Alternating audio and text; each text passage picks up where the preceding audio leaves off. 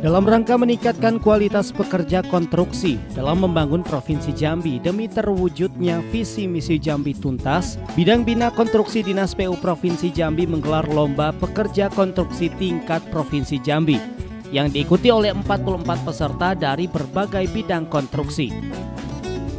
Lomba ini dilaksanakan selama dua hari, mulai dari 25 hingga 26 September 2017. Kegiatan dibuka langsung oleh asisten 2 Setda Provinsi Jambi Agus Sunario yang mengharapkan perlombaan dapat menciptakan pekerja konstruksi yang terampil dan berdaya saing. Pekerja konstruksi terdiri dari lima bidang, yaitu pasang batu bata, pasang keramik, elektrikal, plumbing, dan operator ekskavator.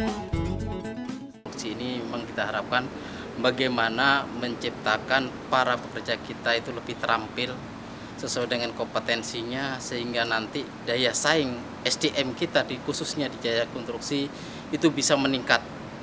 Kita memang antisipasi bahwa untuk daya saing ini semua sumber daya manusia yang ada khususnya di bidang konstruksi itu harus ditingkatkan baik dari tenaga ahli maupun tenaga terampilnya itu nanti bagi peserta yang mendapat nomor yang mendapat juara akan kami kirimkan ke Jakarta dalam rangka hari bakti PU atau hari ulang tahun PU yang eh, tanggal 3 bulan 12 2017 bagi mungkin bagi mereka yang datang sana ke sana yang membawa nama harum Provinsi Jambi untuk mendapatkan juara di sana.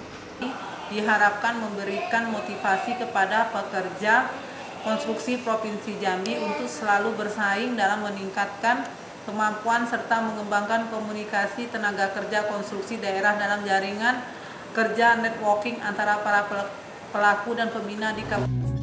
Suci Mahayanti, Jambi TV.